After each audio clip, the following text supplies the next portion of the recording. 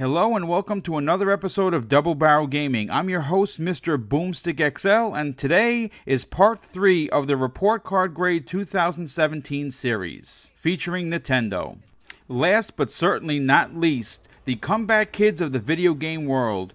Who knew you can strike lightning in a bottle three times? Nintendo did it with the Wii and the 3DS, both ultra successful devices. March 3rd, 2017 was the day that Nintendo Switch was made available to the general public, and it has been nothing but fire since its launch.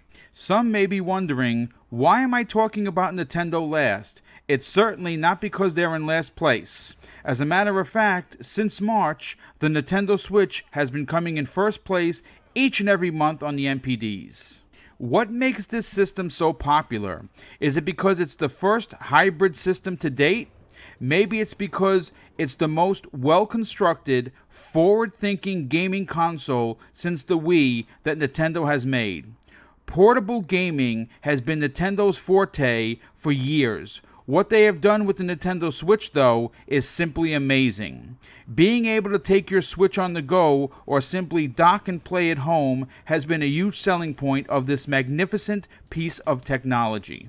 As of this writing, the Nintendo Switch has surpassed lifetime sales of the Nintendo Wii U. That in itself is a feat that is rarely seen in console sales. Since March of 2017, the Nintendo Switch has sold over 15 million units. Absolutely astonishing. Let's talk about what makes Nintendo so special.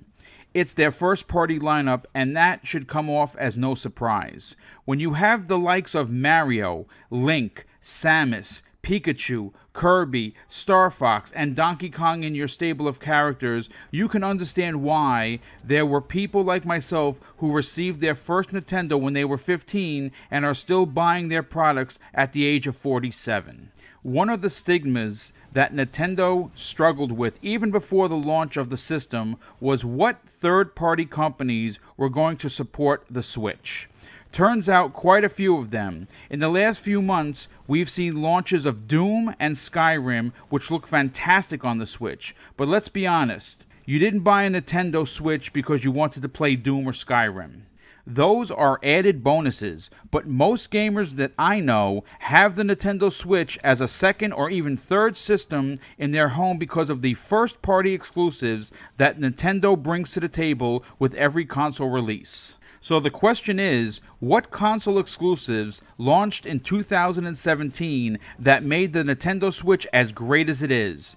Here's the list. Snipperclips, 1-2 Switch, Zelda Breath of the Wild, ARMS, Mario plus Rabbids Kingdom Battle, Mario Kart 8 Deluxe, Splatoon 2, and the granddaddy of them all, Super Mario Odyssey. And that's just the big releases. Let's talk about some of the smaller ones that were available on the software store Implosion, Infinite Mini Golf, Ultra Street Fighter 2, Puyo Puyo Tetris, Snake Pass, Fast Racing RMX, Blaster Master Zero, all smaller titles, but every one of them were absolutely fantastic. The unknown for the Nintendo Switch was its software lineup and what games were going to be made available in 2017. Well, there were a ton of games to play, and with the recently announced Metroid Prime 4, Bayonetta 3, and Street Fighter 30th Anniversary coming out sometime next year, there's a lot to be excited about. Now we're going to be talking about hardware. It's common knowledge that the Nintendo Switch is just about as powerful as a vanilla PlayStation 4 or Xbox One launch system. But again, let's not fool ourselves. We didn't buy this system for power. We bought it because it's a new Nintendo product and its portable possibilities have us all extremely excited. The Joy-Cons are sturdy controllers that slide onto the side of the system. What makes them fascinating is that even in their small size, when removed, can be used by two different players, extending the fun of using the system on the go. It's the kind of portable console that could light up an entire room, and that in itself is magical. The 6.2 inch screen on the console is vibrant and colorful, even for people who wear glasses. One of the few complaints is the system's battery life when you take it on the go. If you're playing a graphic intensive game like Zelda Breath of the Wild, you'll get about 3 to 5 hours on a single charge. Something Nintendo could address with an updated version of the Switch, hopefully sometime in the future.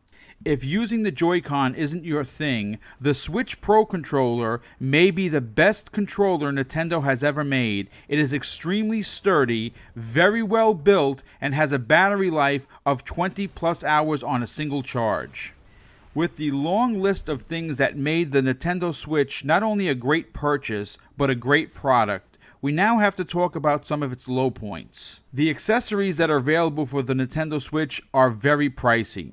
A pair of Joy-Cons with tax is nearly $90. The excellent and well-made Pro controller is nearly 80 with tax. And should you want another dock for another room in the house, it's over $95 with tax. The peripheral prices are remarkably expensive. Another huge hit that the Nintendo Switch took was its online service. Trying to voice chat with your friends looks like something that would come out of Dr. Frankenstein's lab. It's convoluted and frustrating to set up. This has always been Nintendo's Achilles heel, and you would think they would have learned something in past system failures. If you owned the Wii or Wii U, the Virtual Console was the biggest selling point for those systems. Being able to play Nintendo games from every era on current gen hardware was something that many fans, including myself, looked forward to. Unfortunately, the Switch has yet to launch its Virtual Console, and many gamers felt let down. We are still waiting for the Virtual Console to launch officially on the Nintendo Switch, and hopefully that will happen sometime in 2018. Nintendo has been on a roll since it launched its NES Classic in the fall of 2016. To say that Nintendo is having a monster year would be greatly understated. With the success of the NES Classic in 2016, they followed it up with the Super NES Classic, which launched after the Switch to rave reviews. Everyone is holding their breath to see what new Nintendo Mini is coming out in 2018. Fingers crossed, we're all hoping we get an N64 Mini. Well, I think it's safe to say the positives for the Nintendo Switch certainly outweigh the few negatives that the console had during its first nine months on the market. I have enjoyed my Nintendo Switch since the day I purchased it, and though I don't use it every day, it is something I look forward to going back to. I'm very excited to see what Nintendo has in store for its fans in 2018. I'm going to happily give the Nintendo Switch an A. It's a well deserved score, and quite frankly, being a Nintendo fan since the age of 15, I'm happy to see them succeed. A healthy Nintendo makes a healthy gaming market. I hope you enjoyed this three part video series of grading the big three. Large content is something I'm looking forward to doing in 2018, and I hope that you come along for the ride. For today's Community Spotlight, we're going to be talking about Rage Virus X, also known as Big Red. Rage Virus X comes to us from Alberta, Canada. He's 27 years old and has been gaming and into tech for as long as he could remember. NES was his first system playing a ton of Mario Brothers, but he also enjoyed Sonic on the Sega Genesis. Some of his all time favorite gaming memories is where he spent countless hours playing StarCraft on PC, Metroid Prime on the GameCube, and Smash Brothers on the N64. One of his favorite YouTubers is Colt Eastwood. According to Rage Virus X, he puts a ton of time into his content and it shows, and that's why he's his favorite.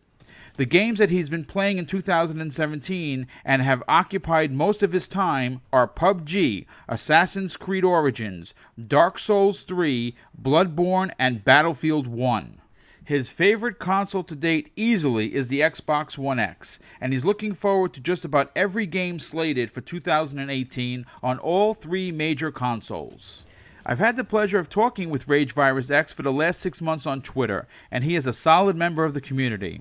I encourage everyone that watches this video to hit him up on Twitter and give him a follow. You can find him at RageVirus underscore X. You can also add him to your friends list by typing in Rage Virus Space X on Xbox Live. I will supply the link below in the show notes. If you enjoyed today's content, please consider hitting that like button and also subscribing to the channel. All of the likes and subs truly help grow the channel. 2018 is going to be a great year for gaming, and I intend to bring you new and interesting content each and every week. Thanks again for tuning in. Have an awesome day.